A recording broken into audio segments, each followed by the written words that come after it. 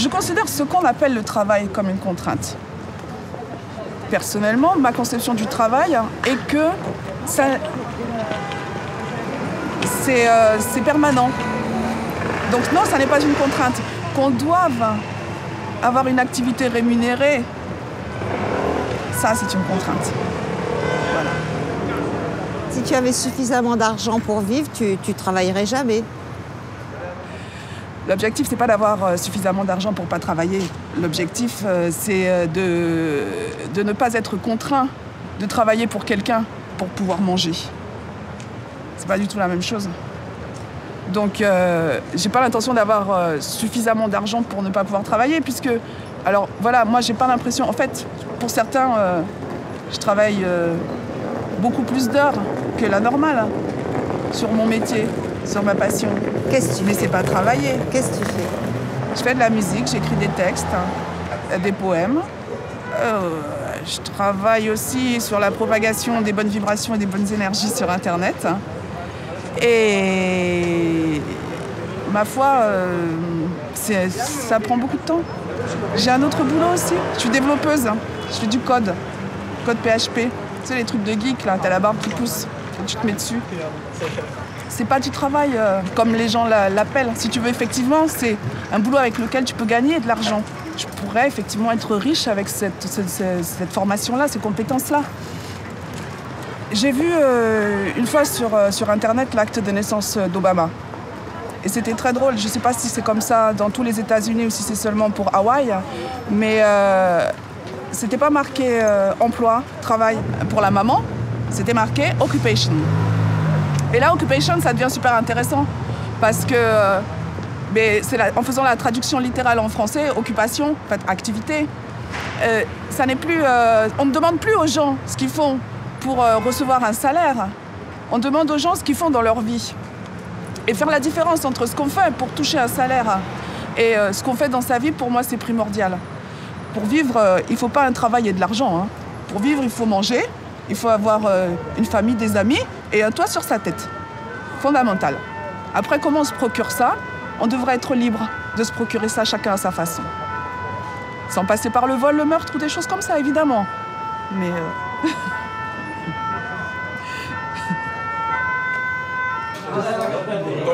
on va.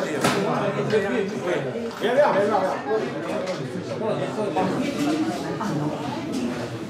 Pour toi, ça représente quoi le travail? C'est surtout un moyen de survie pour moi.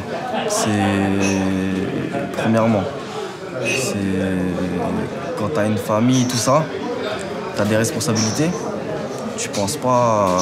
Ouais, est-ce que je prendre le travail pour un plaisir ou quoi? C'est vraiment l'optique de survie, ramener un salaire, mettre à l'abri les personnes que t'aimes. Ça rythme une vie. Malgré le salaire, ça rythme quand même une vie. Tu te lèves euh, le matin, tu sais pourquoi tu te lèves. Tu sais ce que tu vas faire ta journée. Est-ce que tu peux imaginer que le travail, ça peut être un plaisir? Franchement, non.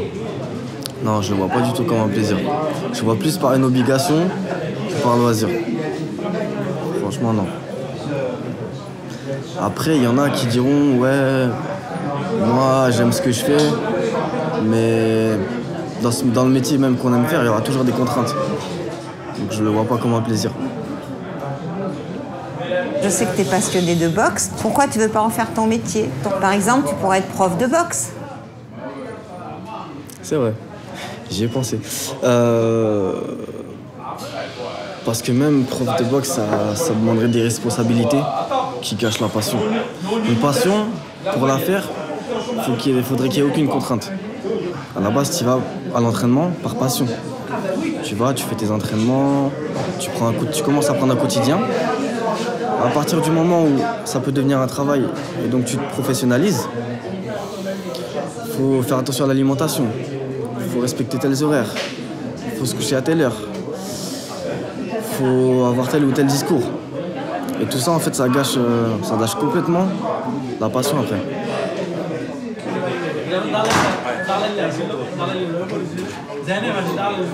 Quel métier tu envisagerais de faire en dehors de la boxe. En dehors de la passion de la boxe, tout ça, ça serait surtout aider les gens. Dans le sens où moi, petit, on m'a pas du tout aidé. C'était plutôt les, plus les emmerdes qu'autre chose. J'ai pas eu de soutien de, de par l'État, de par les administrations sociales, tout ça. Rien du tout. Moi, ce qu'on m'a pas apporté, j'aimerais bien l'apporter aux autres. Quand même, pendant mon service civique, quand j'avais fait euh, un gestion pour les petits, moi, quand j'ai commencé un petit peu la musique, il n'y avait personne pour m'aider. Personne pour me dire, ouais, faut faire ça, faut rapper comme ça. Tiens, il y a tel endroit qui permet de rapper. Il n'y avait rien du tout. J'ai dû me débrouiller tout seul.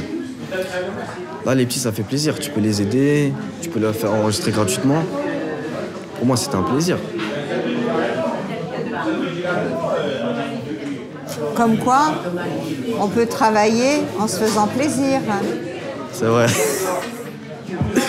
C'est vrai. C'est paradoxal, mais ouais. Pour réussir à vraiment faire ce qu'on aime, euh, sans contrainte, tout ça, ça reste. euh, c'est pas gagné, quoi.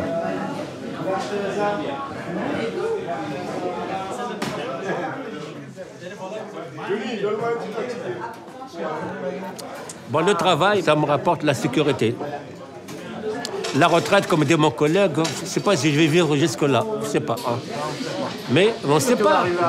C'est écrit, comme on dit en arabe.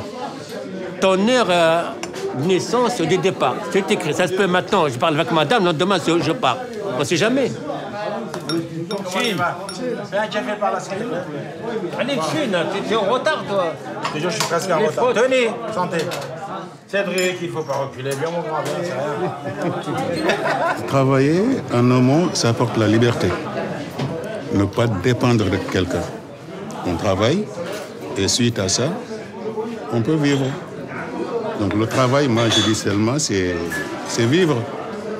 Vivre, vivre maintenant, il y a deux conditions.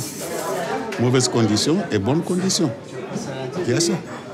Moi je prends la définition de travail comme quelqu'un qui veut sa liberté, ne pas dépendre des autres. Moi, j'ai 54 ans. Et je me dis, plus ça va. euh, maintenant, en ce moment-là, j'ai plus envie de travailler. J'ai plus envie de travailler parce que je suis fatigué. Lui, il est patron. Peut-être qu'il a beaucoup d'argent. Parce que Moi, je ne suis pas patron, mais je ne dépends pas de lui. Je travaille, je vis comme je veux. Lui, il est patron, qu'il a des milliards, il vit comme il veut. Et voilà, ça s'arrête là. Moi, je me pose la question de savoir à quoi ça sert de travailler, parce qu'il y en a qui travaillent mais qui n'arrivent pas à profiter.